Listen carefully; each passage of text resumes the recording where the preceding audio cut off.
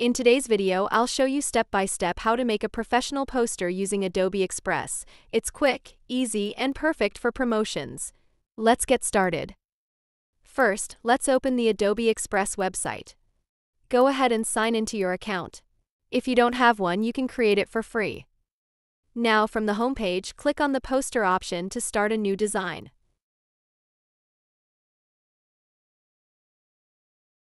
Once the editor opens, you'll see a blank poster ready to be customized.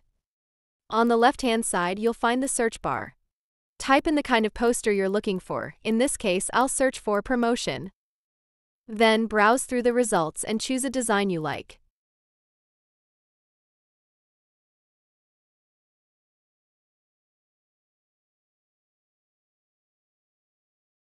As you can see, I've selected this one. This design includes a shoe image, but I want to replace it. So I'll go ahead and delete the shoe photo. Now I'll add a different product image, like a laptop. Click on Upload and choose the image from your device. Once it's added, I'll resize and position it using the mouse like this.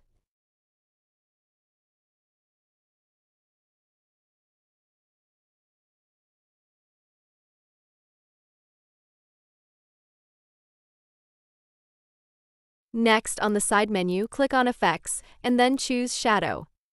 Here, you can apply different shadow styles to give your image more depth.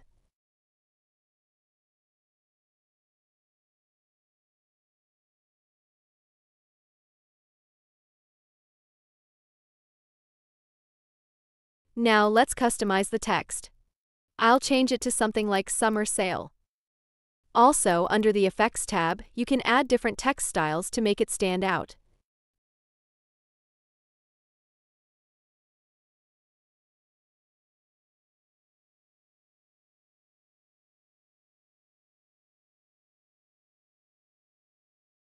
Feel free to experiment and choose what fits your poster best.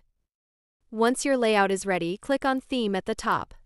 This will open Adobe's built-in color theme generator, a super helpful tool. You can try different color palettes and click Shuffle to preview different styles. Keep shuffling until you find the perfect look for your poster.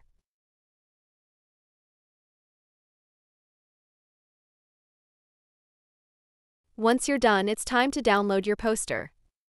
Click on the Download button at the top. Choose the file format, either PDF or image depending on your needs. If you're planning to print the poster, don't forget to check Add Crop Marks and Show Bleed. Finally, hit download and you're done. And that's it.